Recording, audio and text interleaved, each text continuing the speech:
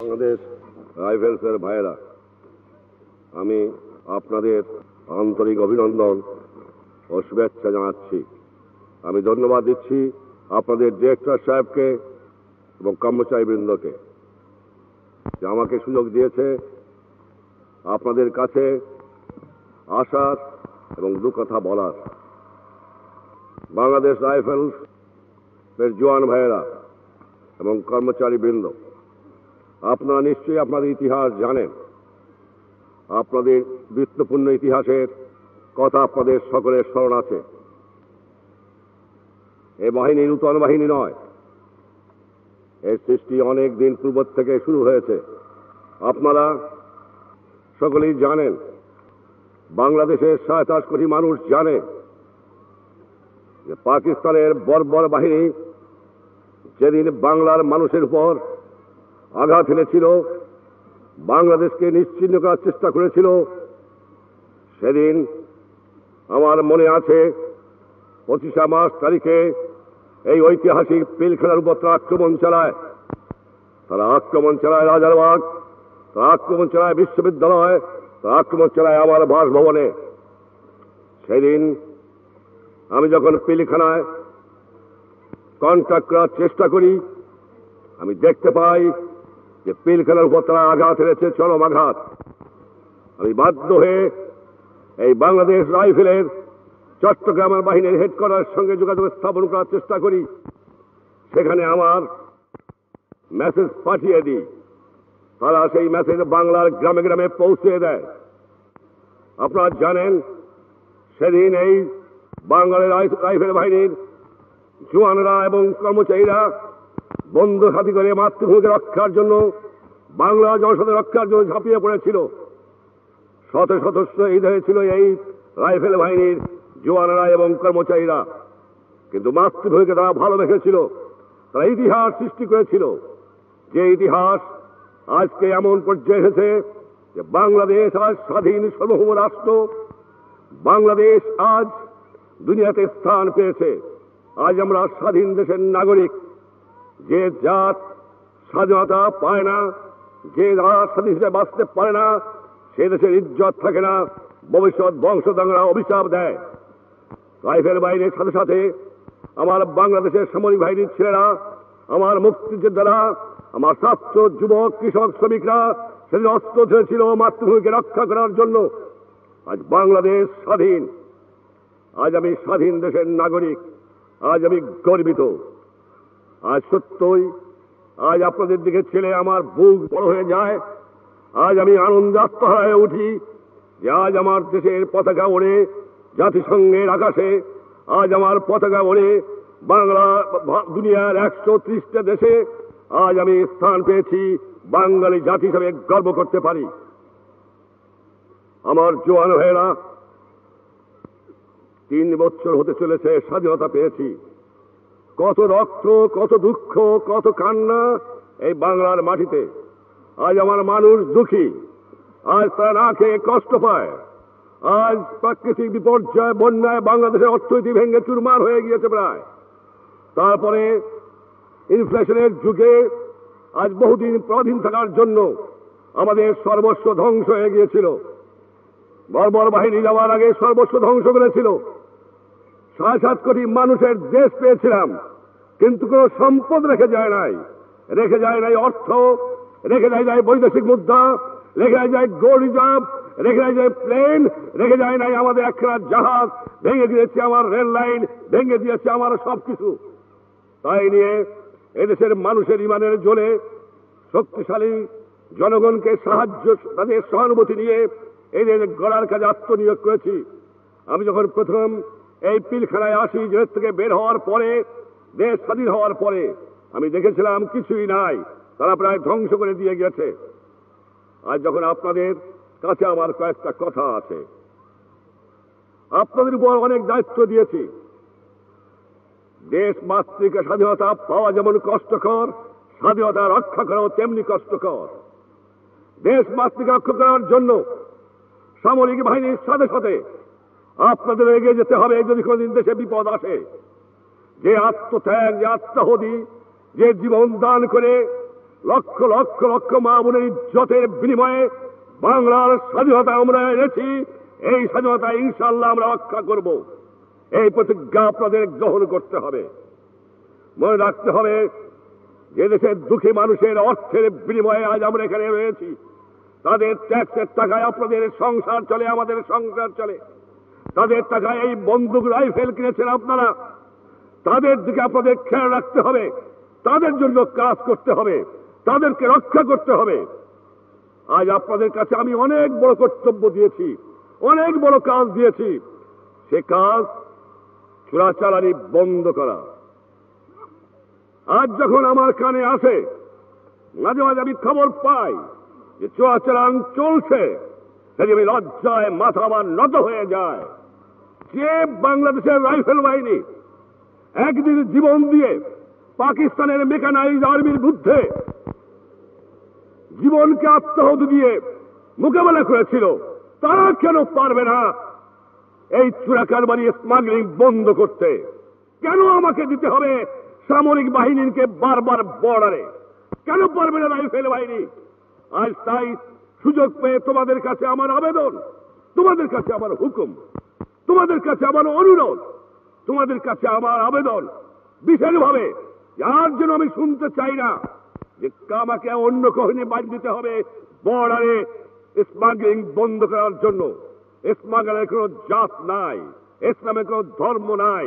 তারা মানুষ নামে নর পশু তারা এই দেশের সম্পর্কে বিদেশে চালান দেয়। সামান্য অর্থের লোভে আর বাংলার মানুষ না খেয়ে কষ্ট পাবে। বিদেশ থেকে ভিক্ষা করে আনব, দেশের থেকে চালান হয়ে যাবে। কে দেবে? আজ দুনিয়াতে আমাদের বদনাম হতে চলেছে। সাবধান। আমি জানি তোমরা আমাকে ভালোবাসো। তোমরা আমার কথা অস্ত্র ধরেছিলা।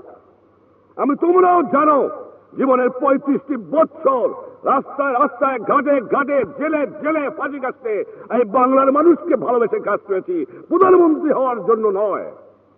আমি পাকিস্তানের প্রধানমন্ত্রী দুবার হতে পারতাম। আমি প্রত্যাখ্যান করেছি, বাংলার মানুষকে ভালোবেসে আমি ফাঁসি কাষ্ট নিয়েছিলাম, যাতে আমার বাংলার মানুষ ভবিষ্যতে মাথা উঁচু করে স্বাধীন দেশের নাগরিক হিসেবে মান সম্মান নিয়ে বাঁচতে পারে। তোমরা আমার কথা রাখো, আমি জানি। আমি বিশ্বাস করি তোমরা আমার কথা রাখবা। আমি তোমাদের কাছে আবেদন করেছি। তোমাদের জাতির পিতা হিসেবে তোমাদের কাছে আমি আদেশ দিয়েছি। ভুলে যাও আমি প্রধানমন্ত্রী এর কথা বলছি না। ভুলে যাও তোমাদের জাতির পিতা হিসাবে কথা বলছি। ভুলে যাও তোমাদের একজন হিসাবে কথা বলছি। তোমাদের ভাই হিসাবে কথা বলছি যে তোমাদের জন্য জীবনের যৌবন কারাগারে অন্তরালে যাপন করেছে। সেই হিসাবে, মানুষ হিসাবে, ভাই হিসাবে, নাগরিক হিসাবে তোমাদের কাছে আমার আবেদন। তোমাদের কাছে আমার হুকুম। স্মাগলিং বন্ধ করতে হবে। আমি বিশ্বাস করি তোমরা পারবা। এ বিশ্বাস তোমাদের উপর আমার আছে। আশা করি তোমরা তো সবসময় স্মরণ রাখবা। মনে রেখো, যেখানে তোমরা যাবা দেখো, কাদের দেখো, বাংলার নাগরিক কারা, বাংলার জনগণ কারা, বাংলার মানুষ কারা, তোমার, আমার বাপ মা তোমার আমার ভাই বোন, তারা যখন না খেয়ে কষ্ট পায়, এত বড় বন্যা, এত দুর্ভিক্ষ, লোক মারা গেল না খেয়ে, বহু দূরের থেকে আনলাম, সেই জিনিস যদি বের হয়ে যায়, সে দুঃখ কোথায় রাখব? আমি জানি অনেকে মিথ্যা প্রবাগান্ডা করে তারপরেও যদি সামান্য হয়, সেটাও তো দুঃখের কথা। তাই তোমাদের কাছে আমার আবেদন রইল, চোরাকারবারি বন্ধ করতে হবে। দুর্নীতি বন্ধ করতে হবে বাংলার মাটির থেকে। উৎখাত করতে হবে বাংলার থেকে। চরম আঘাত আমাকে আনতে হবে। অনেক দয়া, অনেক মায়া, অনেক মমতা আমি দেখিয়েছি। আর না, আমি আমার আমার সহ্যের সীমা অতিক্রম করে গেছে। যাদের জন্য জীবনের সর্বস্ব দিয়েছি, তারা যখন না খেয়ে কষ্ট পায়, তারা যখন তাদের মানুষ লুট করে খায় যা চুরাকার বাই তাদের ধ্বংস করে তাদের ক্ষমা করা চলে না, ক্ষমা করা যাবে না, তাদের চরম আঘাত করার জন্য আমি প্রস্তুত হয়েছি। আমি জানি, আমি হুকুম দিলে তোমরা তাদের পালন করবা। আজ গোপনের অন্ধকারে মানুষকে হত্যা করে, হাট বাজার লুট করে, কিছু কিছু অস্ত্র জোগাড় করে মানুষের শান্তিকে বিশৃঙ্খলা সৃষ্টি করার চেষ্টা করছে। দরকার যদি হয়, যত ফোর্স আমার আছে, জনগণের সাহায্য এবং সহানুভূতি নিয়ে বাংলাকে, বাংলাদেশে একটা চরম আঘাত করতে হবে। এই দুর্নীতিবাদ এই সন্ত্রাসবাদী, এই চূড়া কারবারি এই ঘুষখোরদের দমন করার জন্য। আমি বিশ্বাস করি, যখন আমার কিছু ছিল না, আমার বত্রিশ নম্বর বাহার থেকে হুকুম দিয়েছি, তোমরা অস্ত্র ধারণ করেছ। আজ তোমরা রয়েছো আমার। সামরিক বাহিনী রয়েছে আমার। রক্ষী বাহিনী রয়েছে আমার, বাংলার যুবক রয়েছে আমার, বাংলার কৃষক রয়েছে আমার, বাংলার শ্রমিক রয়েছে আমার, বাংলার দুঃখী মানুষ রয়েছে আমার, স্বাধীন দেশ হয়েছে আমার, কেন পারব না? আমি তোমাদের সব দেবার পারি, কিন্তু চৈত্য দেবার পারি না। চৈত্য তোমাদের গঠন করতে হবে। তোমরা জানো জীবনের মায়া আমি কোনদিন করি নাই। তোমাদের আমি ভালোবাসি এটা আমার দুর্বলতা হতে পারে, কারণ তোমাদের জন্য জীবন বলে সংগ্রাম করেছি। বঙ্গবন্ধু কঠোর হও। আমি কেমন কঠোর ছিলাম, পাকিস্তানের সামরিক বাহিনীর নেতারা জানতেন। আমি কেমন কঠোর ছিলাম, এহিয়া আয়ুব খান জানতেন। কিন্তু আমি চেষ্টা করেছি চোরা নাহিসনের ধর্মের কাহিনী। তারা আমার দুঃখী মানুষকে লুট করে খাচ্ছে। তারা মানুষকে দুই টাকার মাল দশ টাকায় বিক্রি করে মানুষকে ঠকায় খাচ্ছে। তারা মানুষের ঘরের মধ্যে অন্ধকার যে গুলি করে হত্যা করছে দেশের মাল বিদেশে চালান দিচ্ছে। আজকে তোমাদের কাছে আমি আসতে পেরে আনন্দিত হয়েছি। তোমাদের কাছে আমার আবেদন রইল, ইমান রক্ষা করো, সৎ পথে থেকো, দেশেরকে ভালোবাসো, দেশের মাটিকে যে ভালোবাসতে পারে না, দেশের তার মাকেও সে ভালোবাসতে পারে না। সেই জন্য আজ দেশ রক্ষার কাজেও তোমাদের আত্মনিয়োগ করতে হবে। আশা করি তোমরা আমার ক্ষমতা রাখবা। তোমাদের জন্য আমার শুভেচ্ছা রইল। তোমাদের জন্য আমার ভালোবাসা রইল। তোমাদের জন্য আমার স্নেহ রইল। তোমাদের জন্য আমার সব রইল। আমার প্রাণের সব কিছু তোমাদের জন্য রইল। দেশের মানুষের জন্য রইল। তোমাদের কাছে একটা কথা খালি বলে দেব, যে দুর্নীতি সমাজবিরোধী দুষ্কৃতিকারী, সন্ত্রাসবাদী চোরাচালানি এদের বাংলার মাটি থেকে উৎখাত করতে হবে। তার জন্য যদি প্রয়োজন হয়, আমি কঠোরে পরে কর্মবস্থা অবলম্বন করব। আমি বারবার হুঁশিয়ারি দিয়েছি।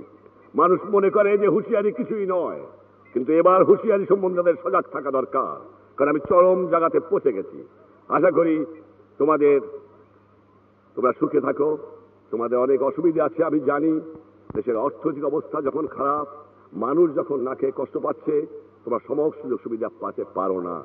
তোমাদের অনেক কষ্টের মধ্যে কাজ করতে হয়। তোমাদের ট্রান্সপোর্টের ডিফিকাল্টি আছে, তোমাদের অস্ত্রের ডিফিকাল্টি আছে, তোমাদের কাপড় ডিফিকাল্টি আছে, তোমাদের খাবার ডিফিকাল্টি আছে, সে আমি জানি, সব জানি। কিন্তু মনে করো, সংসার হলো সাড়ে সাত কোটি লোকের। তোমরা তার সামান্য একটা অংশ, তাদের দিকে চেয়ে অনেক সময় তোমাদের আমার কষ্ট দিতে হয়। কারণ তাদের তো বাঁচাবার দায়িত্ব, তাদের দিকে লক্ষ্য নেওয়ার কর্তব্য তো আমারও। তাই তোমাদের কাছ থেকে বিদায় নেওয়ার আগে যারা নতুন আজকে এখানে বিডিআরের যোগদান করেছ, যারা শপথ গ্রহণ করলা, তাদের কাছে আমার কথা রইল। ইমানের সঙ্গে কাজ করো, সৎ পথে থেকো, দেশকে ভালোবাসো। ইনশাআল্লাহ বাংলার এই দুর্দিন বেশি দিন থাকবে না। বাংলা সুজলা সুজলা শস্য শ্যামলা বাংলা, আবার সোনার বাংলা হবে, এ বিশ্বাস আমার আছে। খোদা হাফেজ, জয় বাংলা।